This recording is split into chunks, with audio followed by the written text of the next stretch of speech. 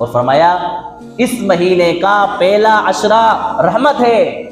اللہ تعالیٰ کی رحمتیں دن رات نشاور ہوتی رہتی ہیں اپنے بندوں کے اوپر۔ اس لیے فرمایا، اس مہینے کے اندر ہمیں دعا کرنا چاہیے، رب غفر ورحم انت خیر الرحیم اس مہینے کا پہلا عشرہ ہمارے لیے رحمت بنا دیا۔ اور دوسرا عشرہ اس مہینے کا مغفرت ہے۔ اور تیسرا عشرہ اس مہینے کا جہنم سے خلاصی اور نجات کا ذریعہ ہے۔ علماء نے بڑی پیاری بات اس حدیث کے ٹکڑے کی تشریح میں بیان فرمائی۔ اللہ تعالیٰ نے اس مہینے کے پہلے عشرے کو رحمت دوسرے کو مغفرت اور تیسرے کو جہنم سے خلاصی کا ذریعہ کیوں بنایا؟ یہ سمجھنے کی بات ہے۔ فرمایا، اس دنیا میں تین طرح کے لوگ پائے جاتے ہیں مسلمانوں میں۔ ایک وہ ہیں جو کہ ہمیشہ اللہ تبارک و تعالیٰ کی فرما برداری میں لگے رہتے ہیں۔ کبھی اللہ تعالیٰ کی نفرمانی کرتے ہی نہیں ہیں۔ اللہ کے ولی، بزرگان دین وہ جن کو چوبیس گھنٹے جن کے ساتھ اللہ اللہ ہے، کبھی کسی کا دل نہیں دکھاتے، کبھی کسی پر ظلم نہیں کرتے، کبھی کسی سے لڑتے جھگڑتے نہیں۔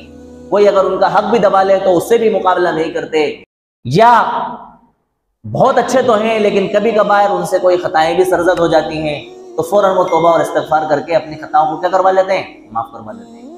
فرمایا، ایسے لوگوں کے لیے یہ رمضان کا مہینہ شروع ہی سے کیا ہے؟ رحمت ہے۔ اس لیے کہ یہ لوگ اللہ تبارک و تعالیٰ کے پہلے سے قریب ہیں۔ جب پہلے سے قریب ہیں تو اللہ تبارک و تعالیٰ کی رحمتیں جیسے ہی رمضان شروع ہوتا ہے، ان کے اوپر برسنا کیا ہو جاتی ہیں؟ شروع ہو جاتی ہیں۔ کسی انسان کا ویزا پہلے سے لگا ہوا ہو تو اب اس کو ویزا لینے کی ضرورت نہیں ہے، بلکہ فوراً جائے وہ اپنا ٹکٹ کروائے، جہاں اس کو جانا ہے اور جانا اس کے لیے کیا ہو جائے گا؟ آسان ہو جائے۔ کیونکہ پہلے سے اس کا کیا ہے؟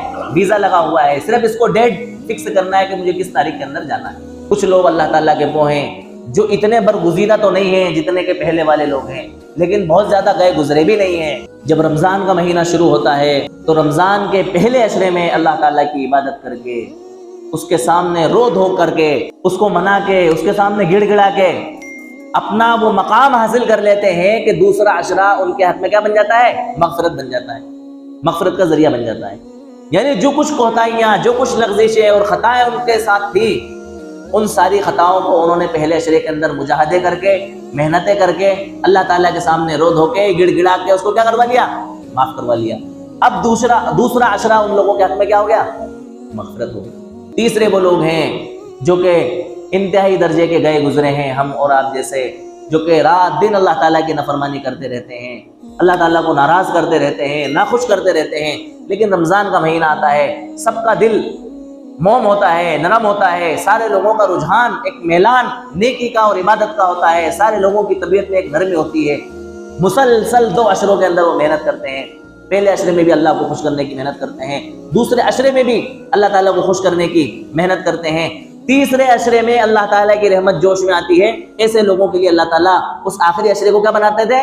جہنم سے خلاصی اور نجات کا ذریعہ بنا دیتے ہیں۔ بتاؤ۔ اللہ تعالیٰ نے کس طرح سے اس رمضان کے عشروں کو تقسیم کر کے اپنے بندوں کو کیسا اپنی رحمتوں سے اور اپنی بخششوں سے نوازا؟ کسی کو نہیں چھوڑا۔ سارے لوگوں کو اللہ تعالیٰ نے کیا کر لیا؟ رحمتوں کے اندر اور اپنی برکتوں کے اندر لے لیا اور سمیٹ لیا کہ تم بھی لے لو، تم بھی لے لو، تم بھی لے لو۔ تم میں سے کسی کو مایوس ہونے کی اور کسی کو شرمندہ اور ناراض ہونے کی ضرورت